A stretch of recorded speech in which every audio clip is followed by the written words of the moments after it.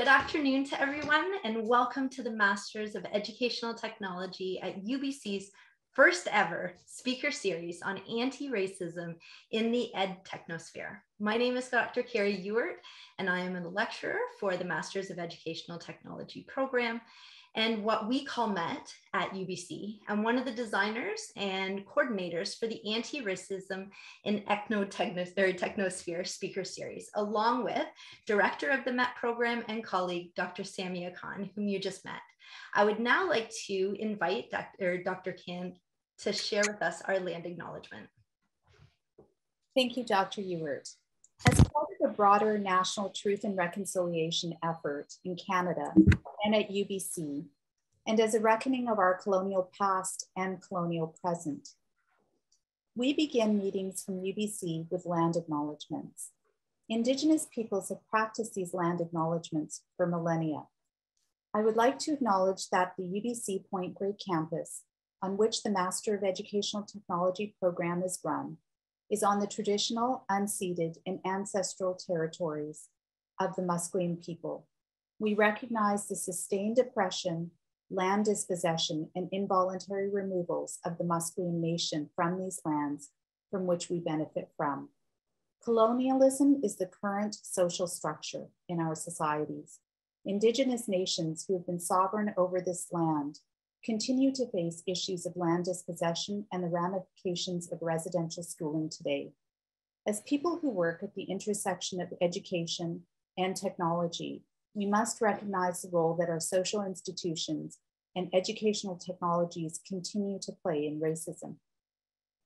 The Master of Educational Technology, or MET program in the Faculty of Education at UBC educates professionals on the use and impact of digital learning technologies. This fully online graduate program provides a unique opportunity for graduate students to engage in topics such as the role of digital technologies in anti-racist education. MET dedicates itself to reconciliation by supporting its learners, stakeholders, and the public to make a positive change in their communities. This series, a first of its kind for us, aims to contribute to this goal. Now, the purpose of the, of the speaker series is to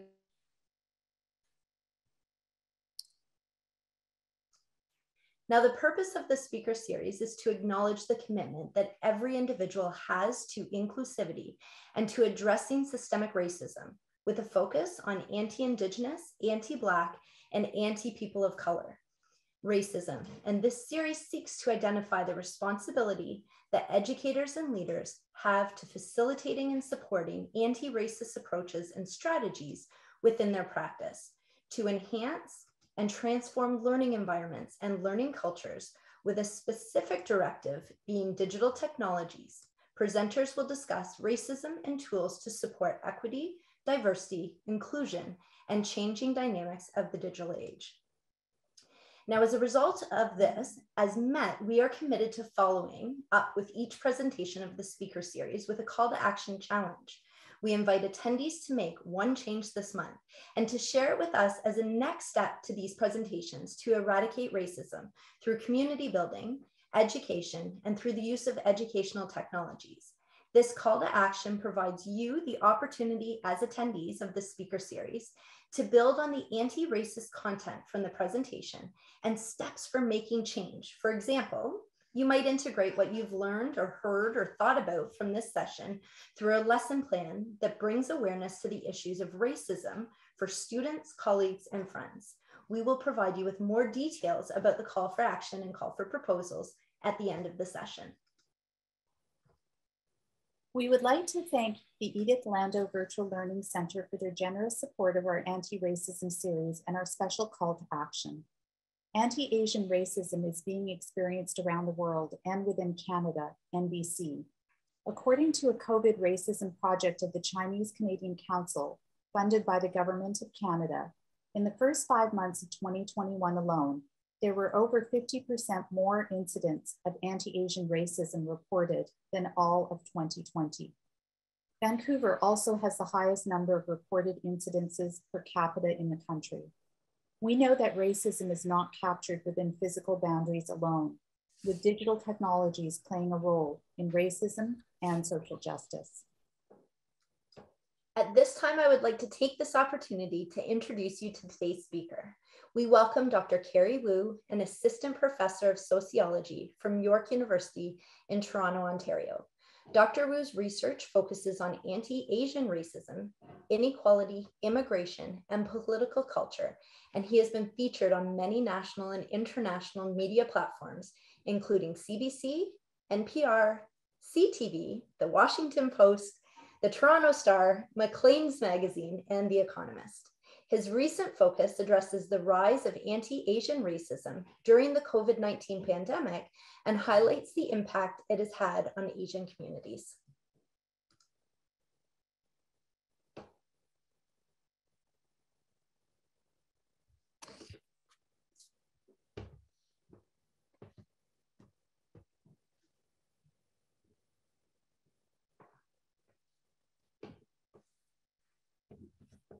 Welcome, Dr. Wu.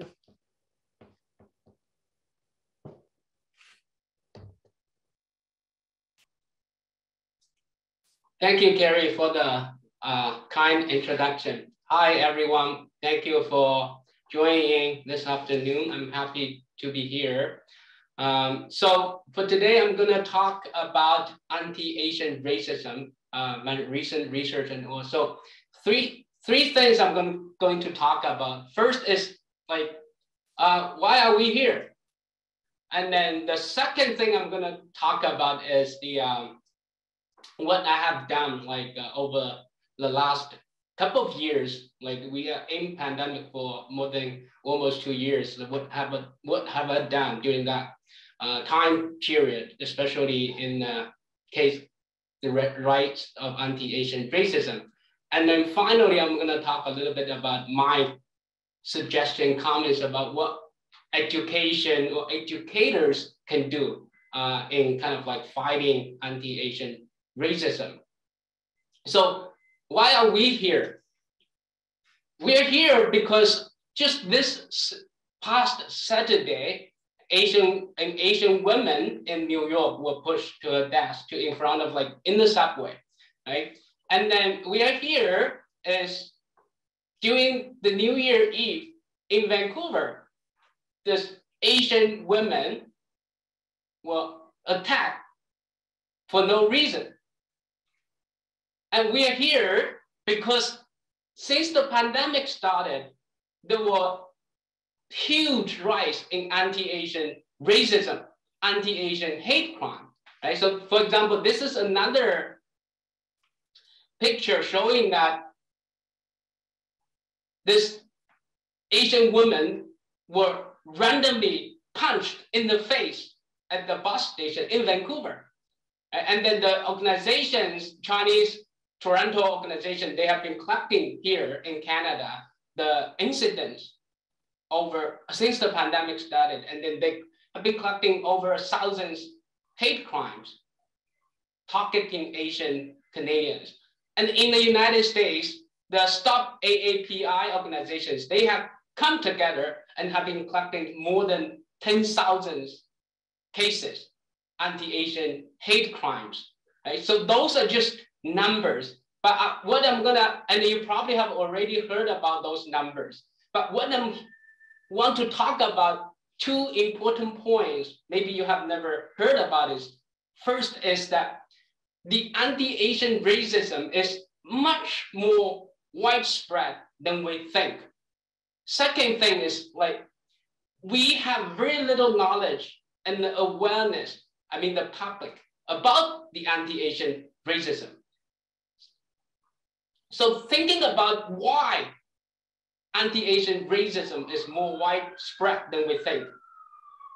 So from the survey data, I'm a survey researcher, survey data often ask, have you ever, for example, asking Asian Canadians, have you ever experienced personally anti-Asian racism during the pandemic? A lot of data shows that here in Canada, more than half Asian Canadian reported that they directly, personally experienced anti-Asian racism during the since the pandemic started. And in the United States, a lot, a lot of surveys show very similar patterns. So here is a question for you. What's the population population in Canada? How big do you think Asian Canadians, how many Asian Canadians we have in Canada?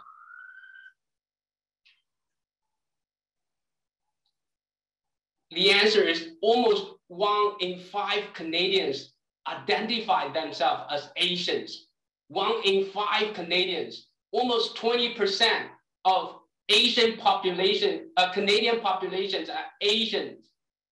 Right? In the United States, only about 6% of uh, US population. Here we have 20% of Canadian population are Asians, identify themselves as Asians. So if we, if from the survey data, we're thinking about almost half saying that they directly experienced anti-Asian racism that lead to millions, millions of Asian Canadians personally experienced anti-Asian racism during the pandemic, since the pandemic started, right? So that's how widespread the anti-Asian racism is in Canada here, right?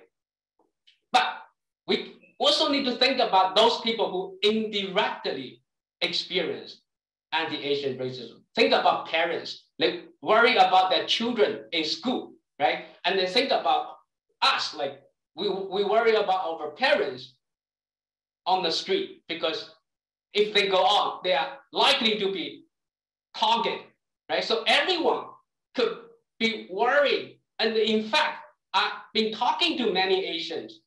They worry about their parents. They worry about their children, right? And then for me personally, I'm when every time when I see news through Twitter, media, when I see people got Asian Canadians, Asian Americans, Asians got toxic, right? That affect me personally. I can't sleep, right? I woke up in the middle of the night thinking about what's going on, and then this really affect me personally. Even I have never directly experienced anti-Asian racism, but those numbers, those videos make me sad. I'm sure make a lot of people sad, Asians. And then also international students, for example, they worry their parents back in China, Japan, Korea, they worry about their safety here outside of their home country, for example, right? So think about that. Anti-Asian racism is much, much more widespread than we think. So that's the first point. And uh, second point is that we, about the widespread anti-Asian racism. The other thing I want to talk about is unequal impact, right? So we talk about parents worry about their children, and then we think about those media incidents, a lot of like more vulnerable people, women, elders, children, those people who are often powerless. And then when they targeted, those cases often go underreported because those, for example, the organizations, the numbers we see, they often those are often people go self-report through the website, right? We wouldn't expect, for example, when elders got attacked, they would go online and report the cases. So that's the other reason why the um, anti-Asian racism is more widespread than we think, unequal impact. And the children, right? So from the survey data, younger people, children, are much, much more likely to report directly experience anti-Asian racism in school, right? Here in Canada, also in the United States. For example, this UBC data. I think UBC, they collaborate with um, Angus Reid survey. They reported almost 60, 58% of Canadian youth reported personally or seeing others uh, being attacked during the pandemic, since the pandemic started. And then the president, Santa Ono, was talking to the media saying that no, I agree that not child, not no child should be ever experience bullying in school and, and on the street. And then in Vancouver and in Toronto, think about the Asian children, the numbers. 47%, for example, here in, in, in Toronto, the Toronto School Board reported 47 uh, Asian children identified as Asian. So almost half of children in school in big cities now are Asians, right? If they suffer from experiencing or bullying or negative experience discrimination, then they can suffer and how big is the population? You can you can think about the the, the, the, the, impact. The second point I want to go into is we know very little about anti-Asian racism or be aware of, I mean, the general public. So think a little bit about what is anti-Asian racism? When we, we talk a lot about, okay, anti-Asian racism, what is anti-Asian racism? Think for 30 seconds. What is anti-Asian racism? I searched Google, the, the, the Canada's anti-racism strategy last year. They have the anti-Asian, anti-racism strategy for 2019 and 2022. They did, the, the document did not mention anti-Asian racism at all, anti-Asian violence. There's no mention about anti-Asian racism, anti-Asian violence. So the I, I wrote a group of 15 Canadian scholars, and we wrote about this uh, last year in April, right? And then after that, I think they, now if you look at the Canadian anti-racism strategy, they included anti-Asian racism, the terminology and definition, right? And the, here is the, when we think about what is racism, I just Google about racism, and here is um, racism is discrimination directed against a person or people on the basis of their membership in a particular racial or ethnic group, or the belief that different races have different ability, characteristic, qualities, right? So this is just Google definition. But if we, take, if we take a look at this is Canadian government definition anti-Asian racism is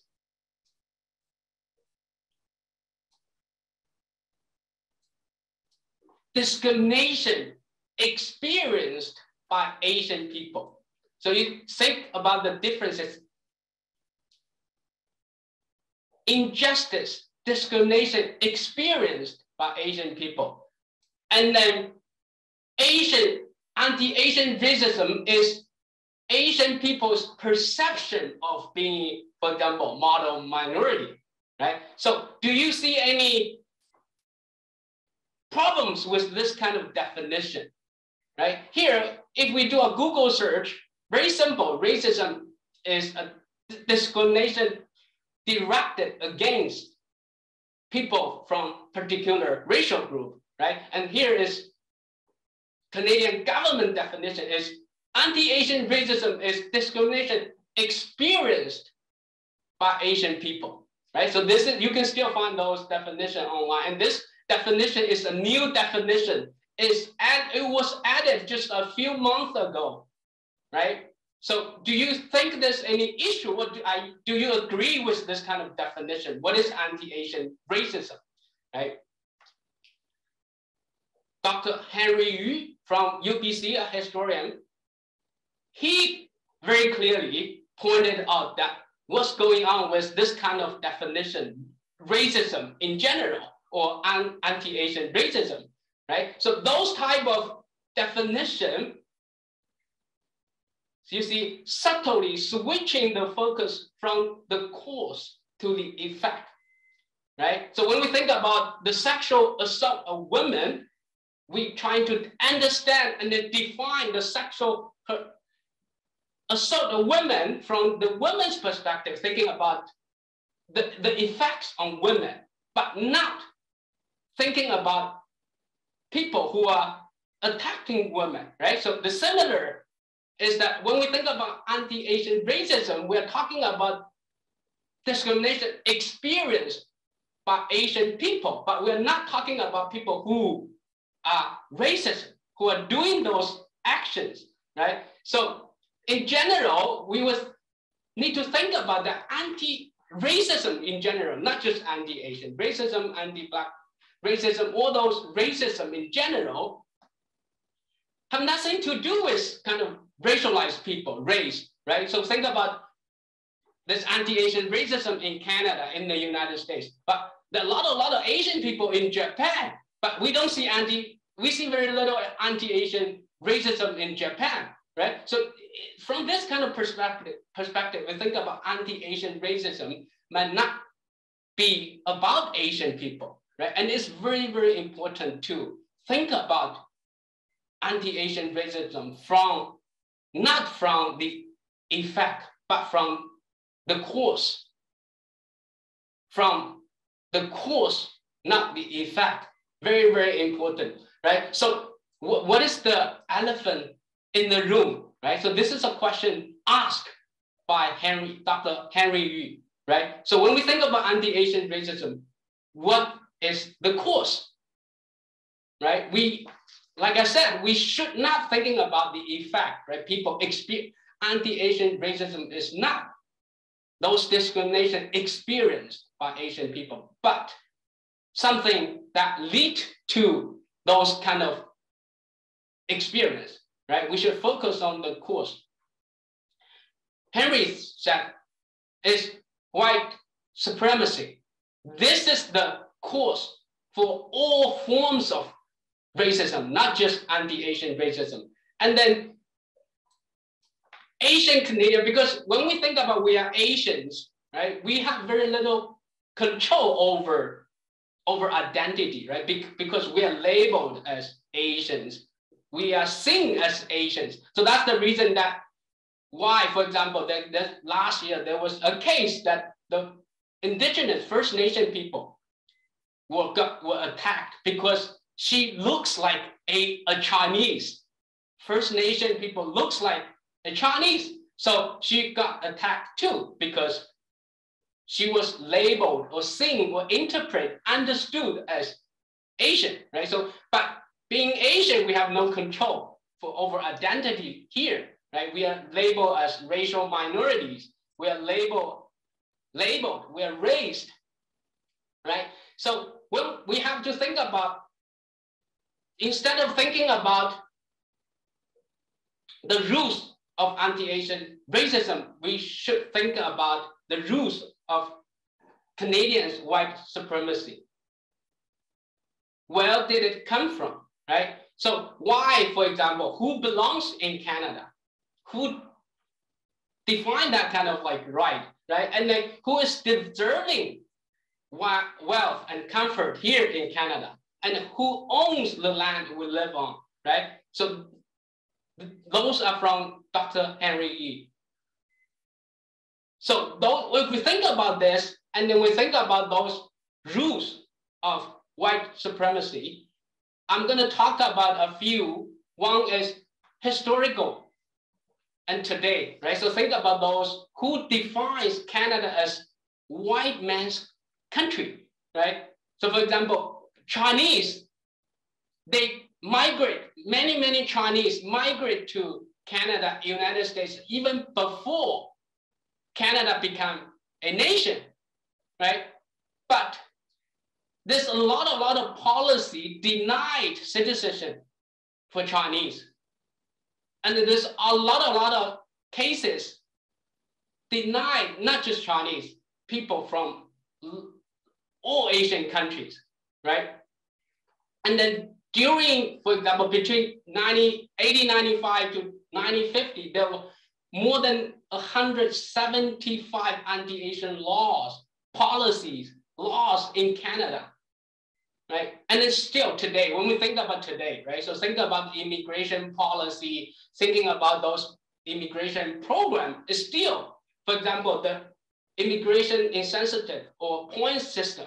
We're trying to select Canada as a country. We're trying to select good immigrants, people who are rich, rich Asians from Asian countries to as a model minority as a good immigrant, right? And then we also have those live-in caregiver program, kind of like special or like working program. special kind of immigration program to invite people from Asia or from other countries to work here locally, do the hard work to do the unattractive work.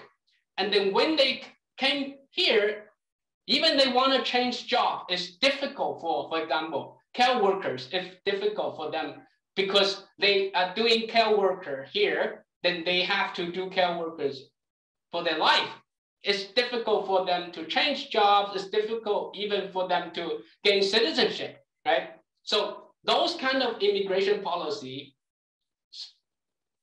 is also part of anti-Asian racism, right? So this is historically, and then today we have those kind of laws and policy.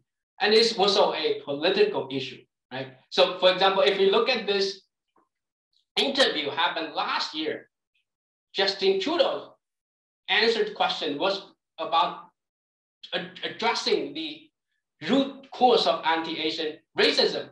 He blamed China, right? It's China, China, China, China. It's China's fault.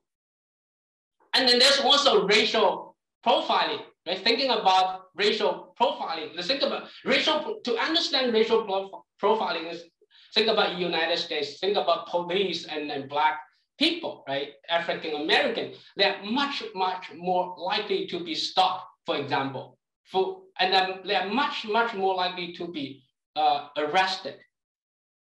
And then, so that's what we call racial profiling. Right? And then since the pandemic started, then in 2018, actually, before the pandemic started, this uh, China initiative, right? Targeting, for example, Chinese scientists in universities, investigate them. And then uh, just, this has just happened today, for example, a, a top uh, MIT researcher, scientist that was facing a lot of charges, but today uh, all the charges uh, against Dr. Um, this MIT professor, Dr. Gang Chen, were, were dropped, just happened today. And then many other cases, many, many during, after the China initiative was enacted in 2018, many, many, many Chinese professors in, on campus were investigated and most are flawed investigation. So think about that, right? So it's very similar to Black Americans are much more likely to be targeted, to be arrested, and then even more likely to be stopped while driving on the street, right? For no reason. So that's what we call racial profiling. And then science published articles thinking about like when the system is doing this, majority of Chinese professors or Asian professors, they feel uncertain, right? they will have higher, they have to experience stress, anxiety, right? It's really damage their well-being, their health, mental health, right? And in, in Canada, we like very much follow the US policy, especially China policy, right? The US China uh, relationship, in Canada China relationship, and we very much are likely to follow those kind of US policy. For example, this is just uh, last year, right? This political orders ban university campuses and professors to collaborate with, for example, Chinese organizations, Chinese professors, right? And they are more likely to uh, investigate, of course, here. Uh, I, am sure many Asian uh, Canadian professors were also suffer from those kind of like policy, have to worry, have to uh, experience anxiety because of those kind of racial profiling policies. It's also social, right? In Canada, we often say, okay, Canadians are very kind. We don't have any racism here, not anymore, politically or uh, socially, right? So like we don't see racism. So those is if we do not acknowledge this racism, then we are not aware, right? And people not educated about the racism, not just anti-Asian racism, but all forms of racism, right? And in particular, when we think about Asians, right, Asians were stigmatized as like carrying disease, right? And the Asians uh, were labeled as model minority, right? So what's, what's the problem of being labeled as model minority? Right? So model minority is, uh, is a concept used in, by sociologists back in 1960s, right? And then the sociologists describe Japanese American as model minority, arguing that, see, the immigrants or racialized American, they can achieve the success through hard work, right? So for example, and then they ac accuse that other minorities are not hardworking enough to achieve success. So it's their personal problem, not the systemic problem, right? And then when Asians in the United States and in Canada as labeled as a model minority, then for example, it's difficult for, for example, Asian students getting into schools at the same uh, qualities. It's difficult for Asian students, for, for example, getting into Harvard, even though they are qualified, right? Because they are deemed as higher standard, unequal standard. So that's the lead to the systemic institutional bias, institutional discrimination. Right? So those are all the kind of the rules. Instead of rules for anti-Asian racism is rules for protecting kind of like white supremacy, right? Instead of instead of the effect of, but all those laws, social, political bias create damaging effect on um, Asian communities here in Canada and also in the United States. So that's the first part of thinking about uh, what anti-Asian racism is more widespread than we think, and also like we really, as the public, Canadians have little knowledge about what is anti-Asian racism, how to understand anti-Asian racism and the, the, the, impact. And the second part I'm gonna talk about is what have I done during the pandemic in terms of researching the rise of anti-Asian racism. Three things I researched about the mental health impact of people's experience anti-Asian racism or the, just the rise of anti-Asian racism in general. And second, I also researched how Asians is not Chinese, Japanese, just, but from diverse backgrounds, how Asians could experience anti-Asian racism differently. And then finally, I will talk a little bit about like how children, especially when they experience anti-Asian racism, how that could lead to long-term impact on, on their well-being, on their uh, achieve, academic achievement, and then their life course consequences.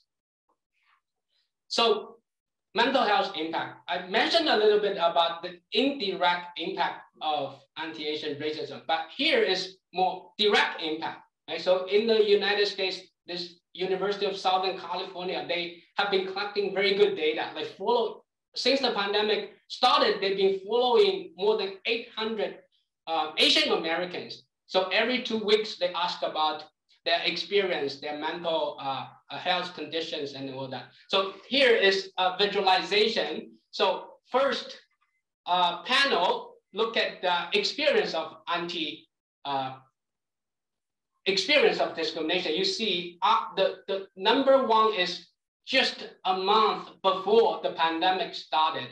And then I separate between three categories, white Americans, Asian Americans, and uh, Asian immigrants.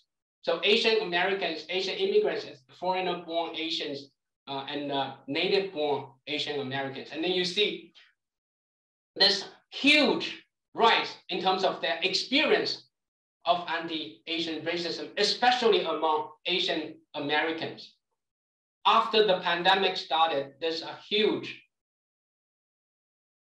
rise in terms of their experience of anti-Asian racism. And then you, the second panel look at their mental health conditions, right? Mental health disorders. They're highly correlated, and this is panel data. So it really demonstrates the cause of the and effect. Panel data mean meaning that following the same individual over time, right? So it's not every wave is not different group of people, but for example, asking Cary Wu oh, every two weeks following their experience and then their mental health condition. So those kind of data, longitudinal data, provide strong evidence on for the, the, the cause, causality between the uh, causal effect of experience of racism and their mental health um, disorders, right? And in Canada, uh, we also have uh, some data, but not panel data, but the pattern is very similar. Like Asian Canadians, when they experience racism or report or seeing others experiencing racism, their mental disorders, conditions much, much worse or poorer. They have experienced poorer mental uh, conditions. Right? So that's how kind of like racism in general can affect people's health, right? Racism health. Second point I want to talk about uh, how the Asians from different backgrounds experience anti-Asian racism differently. Uh, it's very important.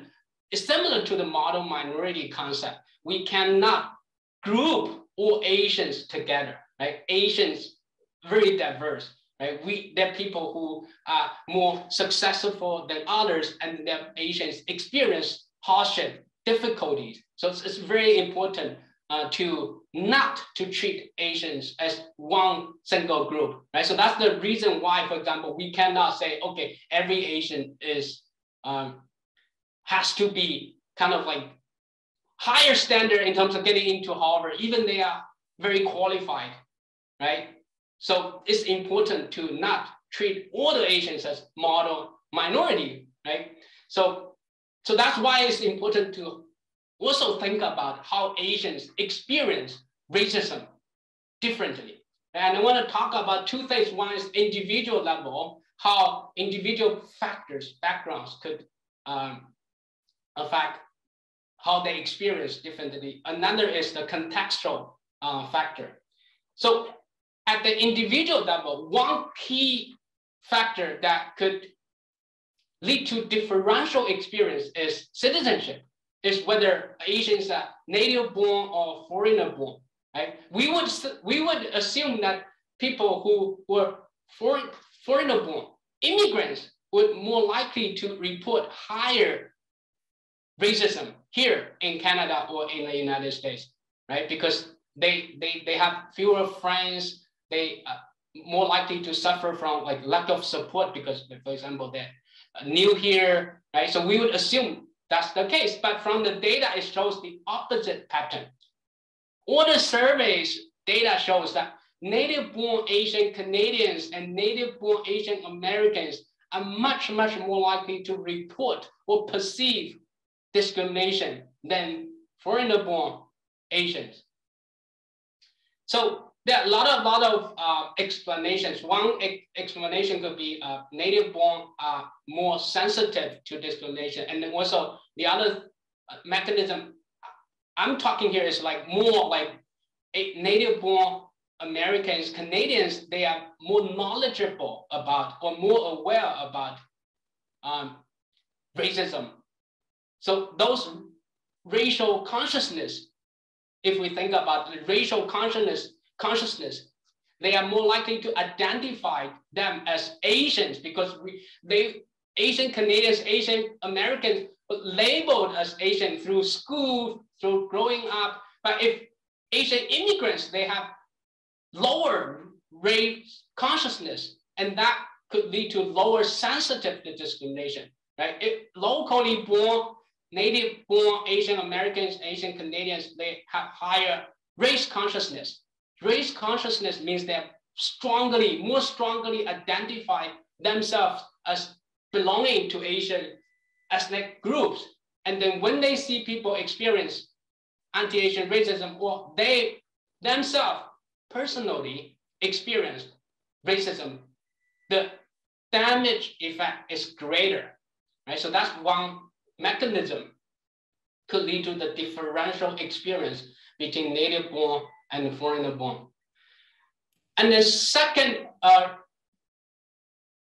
factor that could create differential experience at contextual level is how many Asians in the place Asian Canadians live. For example, when we think about this news report uh, labeled Vancouver as anti-Asian racism capital, right? So, but when we think about like when there's more Asians or there's fewer Asians, how that co-ethnic concentration affect Asian people's experience.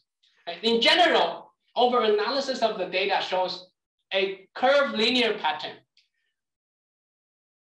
Meaning that when there's very few Asians, for example, in maybe in Halifax, there's fewer Asians. And then in BC, there's more Asians. And then there's in the middle, maybe uh, in some other cities, Calgary, maybe in the middle, right? So the pattern is that in Halifax, Asian people experience lower racism, but in BC, they also experience lower levels of racism. But the perception or experience of racism is the highest among the, the boundary area. Not, not too many Asians, not few, like in terms of numbers, right? So the, this curve, uh, linear relationship. And the, the mechanism we are arguing is that be, because when there's a fewer Asians, maybe the direct contact between, for example, Asians, white, and other groups, uh, people from other racial groups, there's a fewer contact and there's fewer opportunities, interactions, and that could lead to a fewer perception or fewer uh, direct experience of anti-Asian racism, racism, right? And then when there's a lot, a lot of Asians, then Asians are more likely to feel like uh, safer or they have stronger like sense of belonging because they perceive more support and they could also experience or report or perceive lower, right? So the perception or experience racism, it,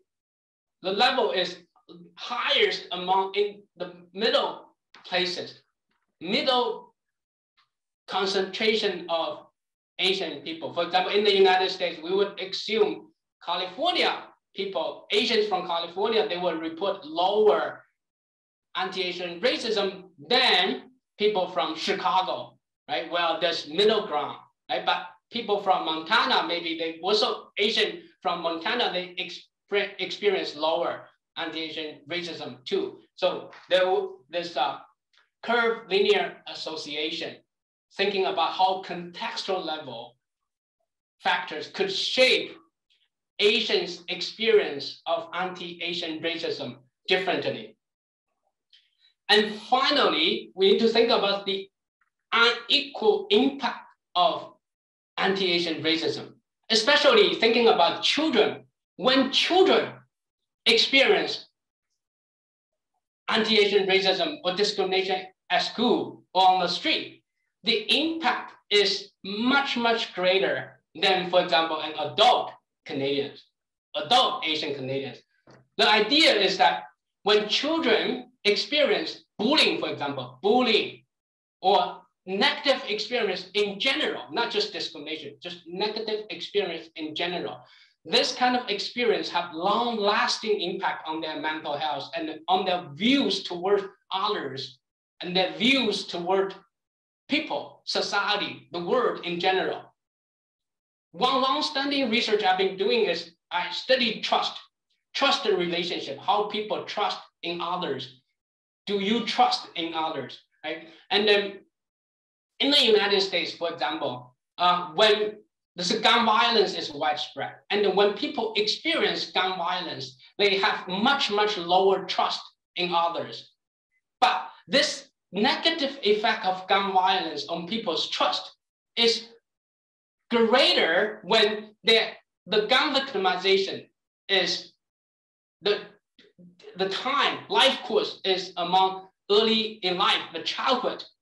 So childhood gun victimization has much, much, much stronger impact on people's trust views later in life.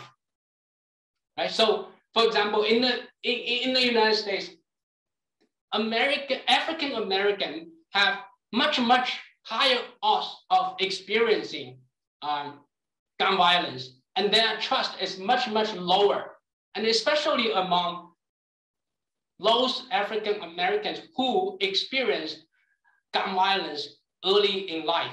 The damaging effect is much much stronger. So those kind of research, what those kind of research suggests that early life socialization is key to understanding how kind of like racism affect people in general. So that's why education comes in. Why education is so important in terms of shaping their views toward others and then also their racial relationship, right? So the third part I'm going to talk about how education and educators can help in terms of fighting racism, anti-Asian racism, or all forms of racism in general. And I'm going to talk about three things. One is first important thing is just be aware and considerate, right? Be aware means that be acknowledge the racist, racism, discrimination in school, right? And then be considerate means meaning that we need to take into account racial trauma, right? So people that ex experience of um, racism when we're talking about uh, racism.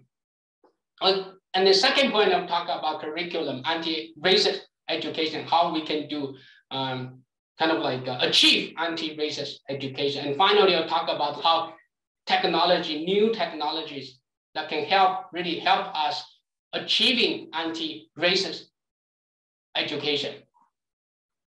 So first things acknowledge that education is not race neutral, right? So when we think about racism, it's not just people to people, It's not just maybe teachers to students. And also very important to think about, it's not just those explicit, but also implicit bias, implicit racial discrimination, right?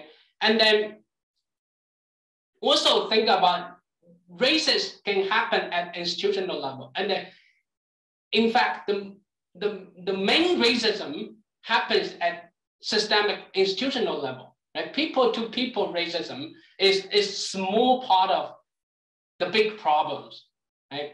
And then finally, we also to think about that educational segregation, right? inequality. Right? So when we teach via Zoom, for example, a lot of a lot of minority populations here in Canada, they have not, they don't have stable internet, for example. So we as educators, as instructors, we really need to think about how to accommodate or how to really think about what we can do to, to help people from racialized minority. For example, I talked to many of my students during the pandemic, and then one of my students, for example, told me that she lived with her parents in the same room.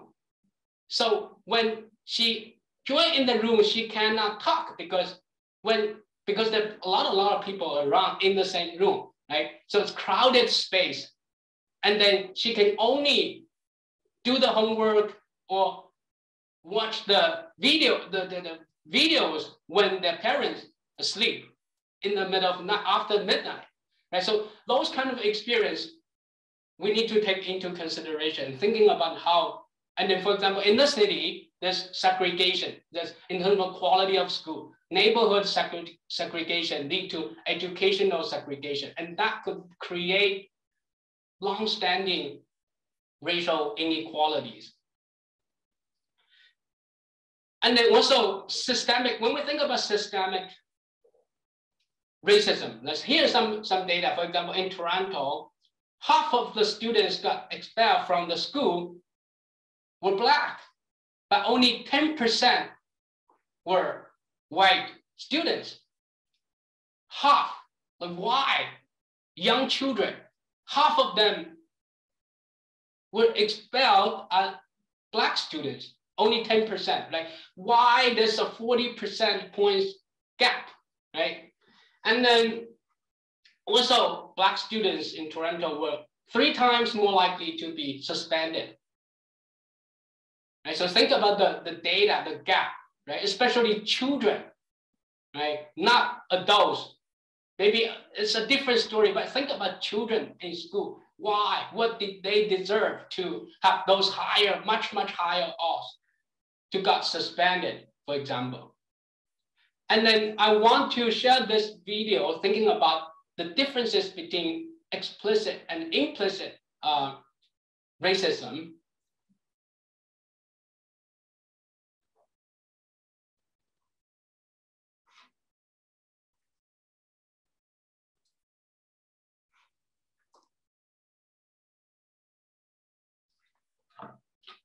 One study at the Yale Child Study Center. I had to read a few times just to believe what it was telling me. The researchers recruited about 135 preschool teachers. They had them watch video footage of four kids playing, a black boy, a black girl, a white boy, and a white girl. And they told the teachers, their subjects, watch the video, there may be some challenging behaviors. As soon as you see something that could become challenging, hit the enter key on your keypad. And here's the trick. There was no challenging behavior. The researchers were using eye scan technology to see which child the teachers were looking at the most. What they found is that the teachers, both white and black alike, spent the most time watching the black boy, waiting for bad behavior that never came. There's one more really interesting headline in the study, which comes later. The teachers were also given a one paragraph description to read, a hypothetical child with a stereotypical name who behaves pretty badly in class, pushes, scratches, throws toys. And some of the teachers were also given some biographical information that helped make sense of that behavior. They were told that the child lives with his mother, uh, father has been in and out for years, they're relatively poor, the mother is depressed, works three jobs. Researchers wanted to know if knowing this information made the teachers more empathetic to the kid. Well, here's the shot. It, it did, but only if the teacher and the child were the same race. If the teacher and the child, a white teacher and a black child, or even a black teacher and a white child, knowing that biographical information, those teachers were less empathetic towards those students. And here's why this matters. Imagine if this is true, if there's this empathy deficit in preschool, well, imagine where else that's true.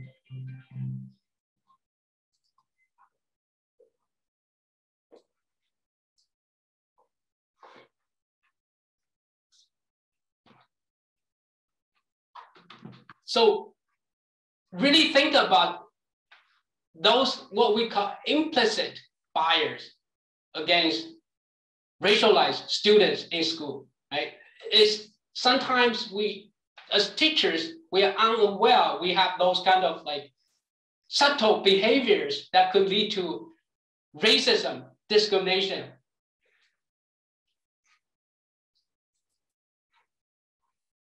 And the second thing I want to talk about is that curriculum, thinking about what we can do in school. Asian Canadian history is rarely taught in school, right? But Asian Canadian history is Canadian history, right? So only very recently, people, educators started talking about how to include Asian Canadian history, Asian immigrants experience in school curriculum. Right? So in the United States too, this just happened a few months ago, that only two states like making the teaching of Asian American history in public school mandatory, only two states. So think about how teaching Asian Canadian history, Asian American history can help. So those are some direct qualitative quotes from people. Right? So for example, when you have a curriculum that is familiarity, that kind of sense of familiarity about Asian culture, Asian Canadian history, it reduced assumptions and uh, discrimination, right? So that matters in terms of education, in terms of socialization. Those are direct quotes from Asian Americans and Asian Canadians. Those, those kind of education is affirming our sense of belonging to this country and also that we deserve to feel safe. And then third thing is celebration, right? Celebrate Asian culture, Asian Canadians. So let's think about, when we think about Canadians, Canadians, Canadians, what faces in your mind? Canadians, what kind of face faces in your mind? Do you see those faces? You imagine those Canadians? Or do you, many of you may not even recognize some of those are Canadians, right? Asian Canadians.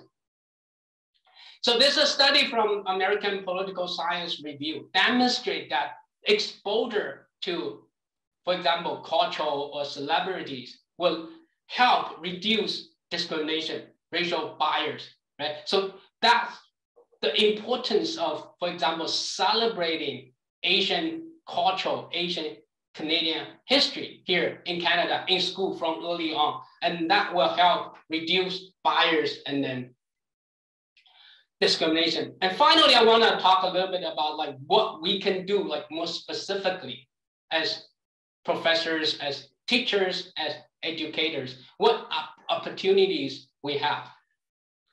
One is that to better connect our students to outside world, right? Thinking about the, the, the, the virtual schooling, make it possible for us, for teach students about people from other countries, food, culture from other places, and experience from other people, people's experience from other places, right? So that can help us thinking about others' cultures and then reduce those assumptions and the racial bias. So for example, the United Nations, they have those international virtual schooling. They have programs trying to bring people together from places from different places together in school, in the classroom. And also think about how to learn Asian history, Asian culture through, for example, the virtual reality thing. We can um, help students or explore online museum, Asian cultures, Asian stories, right? So that's, that's a lot, a lot of opportunities and it can be done fairly easily through online new technologies and from media, social media, Instagram, and then um, students, they like, they spend so much time on, on, on those social media. And then we as educators can help or direct those, uh, socialize them with those kind of like uh, information and knowledge. And then also thinking about encourage students to speak out on anti-Asian violence, right? Help them to write story and then help them to even to to to to to to to have those kind of like talk to each other across racial groups. Those could help young students really thinking about, for example, what is anti-Asian racism, what is racism, and how Asians experience discrimination, racism in different ways to different levels, right? And then there's lots, lots of online uh, materials we can use and then ways that we can help students to learn more about um, Asian culture and cre create connections. For example, we can think about create digital pen pals between students in Canada and students from, from other places, right? So then encourage connection, promote uh, mature understanding and then resources, a lot, a lot of re resources, tools online that we can use. And then be considerate thinking about how to choose those resources or materials for education purpose. Right? And then here is just a list of some website I think very useful. And uh, hopefully uh, we'll be able to share the, those slides with you so you can um, take a look. Thank you. Thank you.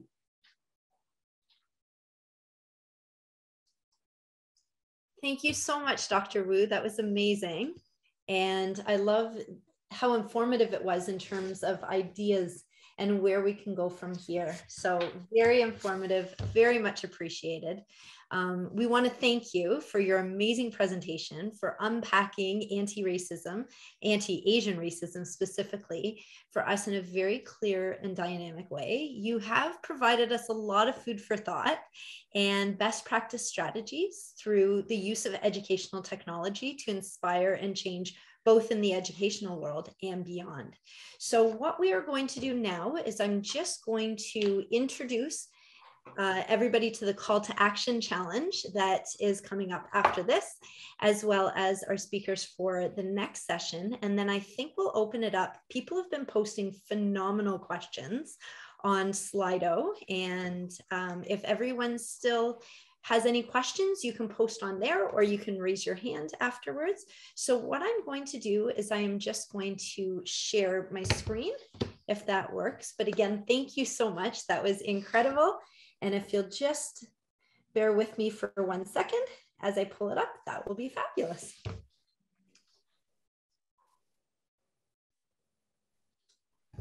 There we go. Okay, so as we explained at the beginning of the session, there is something that is going to extend beyond just the simple presentation, and it was by no means simple, but we really want you to take Dr. Wu's words and extend this beyond what you saw here today. So, as mentioned prior, we're looking for little acts of change. What can be small, what can be large, and really taking your intention from this speaker series and eradicating racism through small and large steps. So, as such, we've created this call to action to move the teaching of Dr. Wu forward. Now, we challenge every one of you as attendees of today's presentation to participate in one act of change. So, this could ha be having a conversation with your neighbor or a colleague about something that resonated with you from today's session. It could be creating an anti racism interactive activity for your staff, for your colleagues, for peers, for an audience. You might create a subset presentation or a podcast reacting to what was um, presented here today. So he has done an amazing job and continues to do an amazing job at anti Asian racism, addressing these challenges, addressing these issues, especially in the form of when COVID has happened and mental health. And we really want to be able to move this forward. So at the bottom of the screen here, you will see that we have a hashtag, and we encourage everybody to use this hashtag. It's uh, hashtag UBC Met Anti Racism to start that conversation and keep it moving forward. And this is available here. You can do through Twitter. It will be available on our site so that everybody will have the chance to be able to explain and share their ideas of how you're taking these words and these teachings and moving it forward towards change. Now, when it comes to the availability of impactful, culturally sensitive, and relevant lesson plans that address anti racism and specifically anti Asian racism, there are very limited resources that are out there. So we are urging you as a grand gesture for any interested attendees of today's session to submit a lesson plan that aligns with the content from Dr. Wu's presentation and your curriculum in an attempt to create good quality anti-Asian resources to put in the hands of our educators. Now, this lesson plan call to action can be found on the MET website, where you will see here, oh, my apologies, on the call to action. And here you will find um, it's linked to the lesson plan template, it's linked to the criteria and the submission. And all lesson plans are due by Friday, February 25th. Um, by 11:59 p.m. in Pacific Standard Time for review. Some of the lesson plans will be chosen to be published on the web or MET website and may receive a grant offered by Edith Lando Virtual Learning Center to create additional digital resources which will support your lesson plan. All lesson plan entries, they can include grades K to 12 and graduate studies and all are encouraged and welcome. And as quoted by Nelson Mandela, education is the power weapon or powerful weapon which you can use to change the world. So we are asking you to help with this change. No act is too small. And moving forward, we do we are continuing our speaker series throughout uh, the next few months. So within that, our next form in late February will be a podcast. It will be available through the Met website towards the end of February and will address pervasive racism and the S2 LGBTQ plus community. And we welcome Mira Dabar, associate faculty of the City of University of Seattle NBC, and founder of Queer BIPOC Association, as well as Alex, De, Alex DeForge, who is the coordinator of social impact and provincial services at Community and where they specialize in S2 and anti-racism. And then on March 8th or 28th from 4 to 5 o'clock p.m. Um, Pacific Standard Time, we welcome the world renowned Dr. Carl James to speak on the topic of anti Black racism in a presentation named Race Matters The Social Schooling and Educational Experience of Black Youth, which strives to disseminate Black racism through educational technology. Now, registration for this event is now open we will post the URL in um, the chat area, and you can also access this through the Met website using that. So at this time, we would like to move over to a Q&A session. Um, and throughout the presentation, you were asked to post your questions and I will be covering those questions that were in Slido and Dr. Samia Khan will be covering the questions based on those who raised their hands. So again, Dr. Wu, thank you so much. I know there are phenomenal questions that were asked and you know when there are good questions, it means it was a good presentation. So I will stop sharing my screen right now and I will go over. Okay, the first question that was asked is um, how do we get the white majority to recognize anti racism matters when some of them may feel disadvantaged by equity and inclusion efforts? And what I can do is I can post this so that you can actually read it um, in the chat area, and I'll post it for everybody to see. So again, how do we get the white majority to recognize anti-racism matters when some of them may feel disadvantaged by equity and inclusion efforts?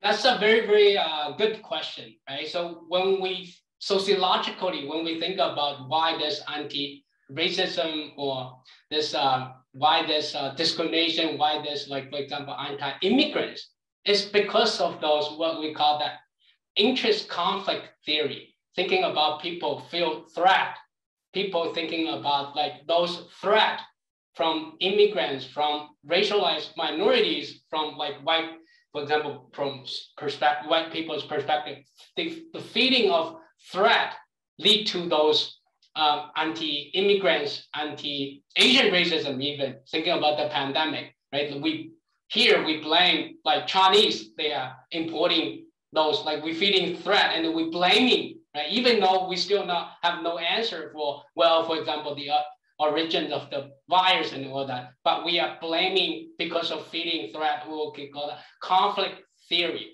right? But how to really address, and then it's back to the education, right? It's really difficult thinking about um, to racism is a long-standing issue and we have to start from school, right? Because my based on my research about social relationship, about people's views toward others, and those kind of views are often stabilized early in life. Like after age 16, it's difficult to do things about that. It's difficult to change their opinions of the race, racial bias toward others and then those kind of like um, racism views, right? So it's has to be done in school through education. So that's why we are here today, actually. Like we, we should educate our children, um, thinking about like cu curriculum, for example, talking about um, people, ra racialized people's experience, and then thinking about that they are also part of the country, part of the history. This is their home, right? So then need to like, there's no us and you people, like kind of talking from school. But now we still have this like you people.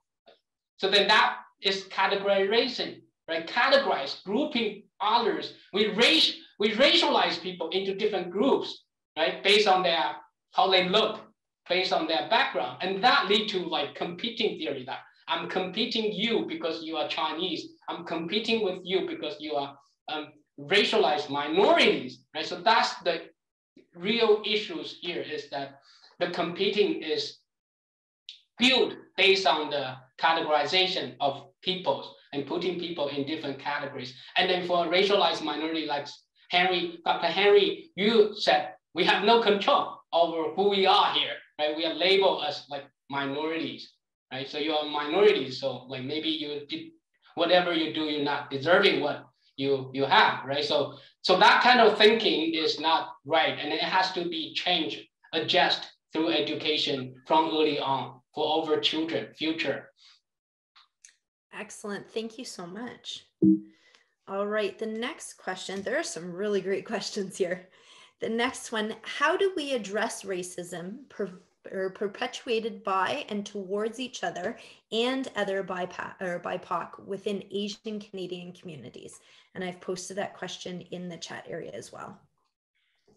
This is also a very, very good question. I'm thinking about racism, like all forms of racism, anti-Asian, anti-Black. It's just not like, it's not about, actually, we, we also need to think about, it's not just always about, for example, white and racialized minorities also happen like explicit and implicitly those bias within Asian groups, within, for example, Black and Asians, Asians, Blacks, right? So all people, even Asians, they have those in, implicit bias or, or explicit bias toward uh, toward other people from different categories, from different racial groups, right? So um, the importance again, right, is, is the categorization is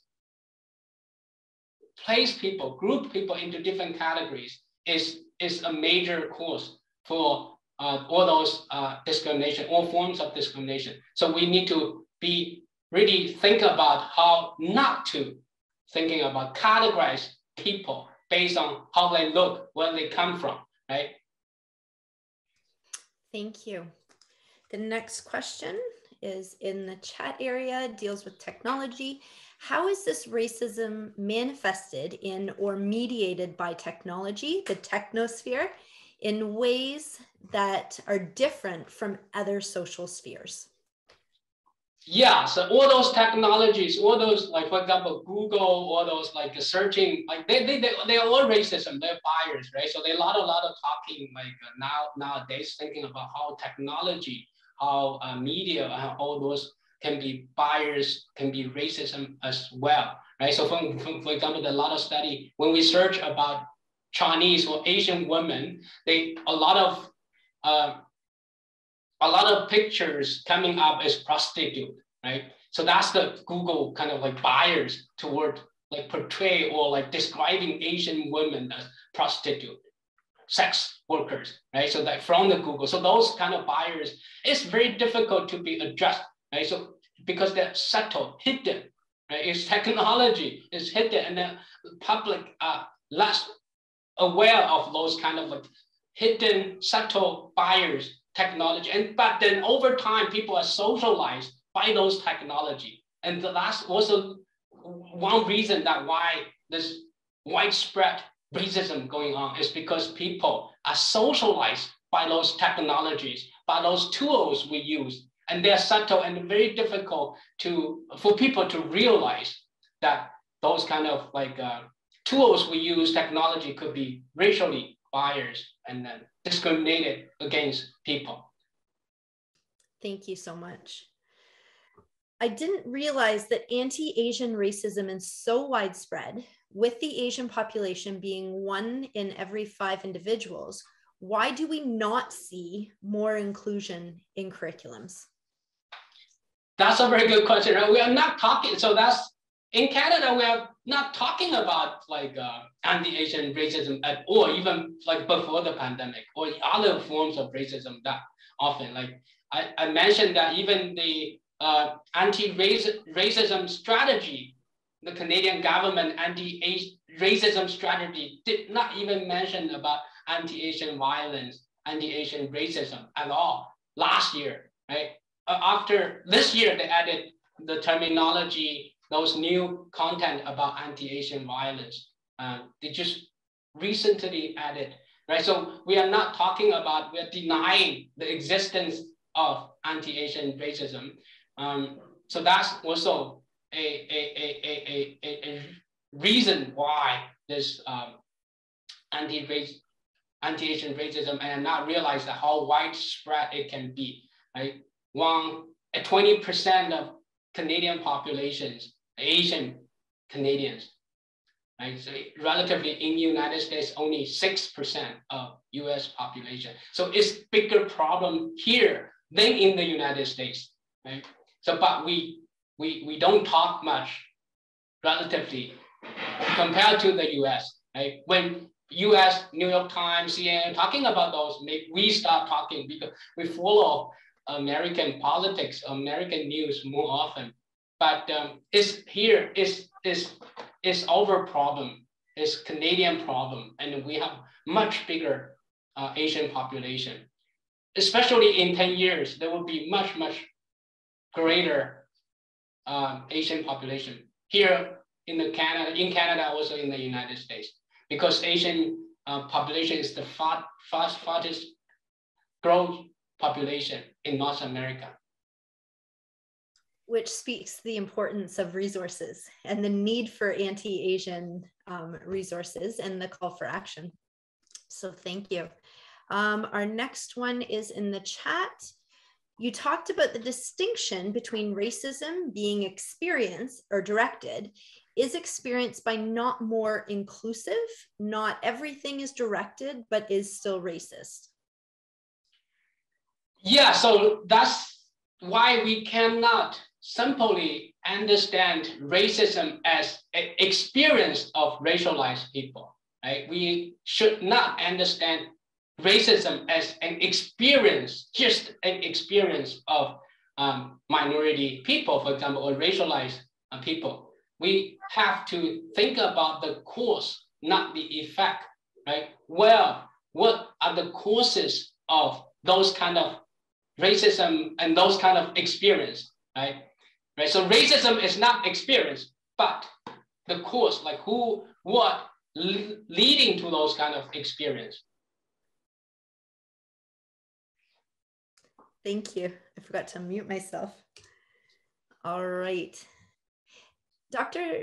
Khan, did you want to do any of these? I feel bad taking on all of the questions. Certainly, I can. Um, so the next question is, where does meritocracy fit in the anti-racism conversation if systemic racism perpetuates inequity? Society is not meritocratic. And I will put it in the chat. Yeah, so that's uh, like uh, a big issue when we think about uh, like uh, all those hiring and all those like opportunity kind of like uh, thing when we think about um, diversity, inclusion, those kind of um, how to address, how to think about uh, quality and opportunities, right? So one thing I think is important to consider is understand like what is, for example, quality means to different people, right? And then also understand from the life course perspective, what people have to experience to achieve, for example, certain standard, certain quality, right? So for some people, for let's just put it very simply, like for me, for example, I'm from very poor family, and then for some other people from very high standard or rich family, it's easier for people with a lot of support from rich family to achieve certain success, much, much easier than people from like disadvantaged position from, for example, when we, we think about education segregation, neighborhood segregation, we need to think about children or people who are coming from this neighborhood than people who are coming the disadvantaged neighborhood. And how from like time perspective or life course perspective, what they have to experience or to work to achieve certain quality. So we really need to take that into consideration, thinking about like who we need to, um, like in hiring decision or in some other op opportunities. So, so that's the reason when we think about two different things, like inequalities and equities, equalities, two things. It's one is parity, one the other is equality, equality. Right? Inequality, disparity is a little different from uh, equ equities. Right? So the two different concepts. So equity meaning that we need to really taking into consideration people from different background and what they experience to achieve like certain standard. So that's one thing. Second it's also important to think about the standard, how to measure the standard, right? Dimensions of the standard. Let's think about the IQ test, right? We think about IQ test, it, we can, based on the IQ test, we can define who are smarter than others, but the IQ test itself is racially biased, right? Because people who design those tests who designed those questions are probably have did not take into into account of different backgrounds and even different um, experience or, or even language issues, right? Or question the, the way they ask question is like maybe it was a, it's a Western way of asking question. So maybe the country, other countries, they answer those standard IQ tests poorly, so they are stupid, was like they're not have that kind of uh, high IQ, right? So think about two things. One really is about the life course experience, what it takes for different people from different backgrounds to achieve certain quality, first thing. Second thing is the quality itself, the measure of quality. You need to think about the dimension, the multi-dimension of quality or how to capture, measure the quality right? So IQ test example. IQ test maybe is good, but it could be racially biased toward or culturally biased, right? Uh, towards certain populations. So those are very important to uh, to be considered when we think about really think about um, what is good, what is bad, or in hiring decision, all those like people create how to create opportunities for a diverse population. Thank you, uh, Dr. Wu. And um, we have a number of additional questions on the Slido, which I think I'll save for now. Um, for those of you that have uh, stuck with us for the entire presentation and the question and answer period, it's been wonderful. And maybe some of those questions Dr. Wu would answer um, and place uh, on our website if he would kindly do that, because there are so many other interesting questions. And I just want to also um, leave it to the group. If you have an additional question, you may ask it now. I think a lot of people got their chance to ask questions through the Slido. Um, but if you don't have an additional question, I'd like to turn it over to Dr. Ewert uh, to express our sincere thanks. Thank you so much, Dr. Khan. Dr. Wu, it's been amazing. Thank you so much for your expertise, for your insights, for presenting some of your research. This has been enlightening to me, and I know to many other people. And I very much look forward to this conversation continuing. Again, this conversation can continue at hashtag UBC Met anti racism and the call to action for lesson plans and any other activity ideas to be able to continue this conversation and be able to get those resources out to people um, so that they can start doing this great work in their own um, classrooms. So thank you again, Dr. Wu. Thank you to Edith Lando for their generous support and for everybody involved in putting this together today. Thank you. Thank you for having me. Thank you. And thank you to our participants, our attendees. Um, for those who are still here, we very much appreciate your presence here today. And we wish you a wonderful afternoon, evening, morning, wherever you are in the world. Just have a good one.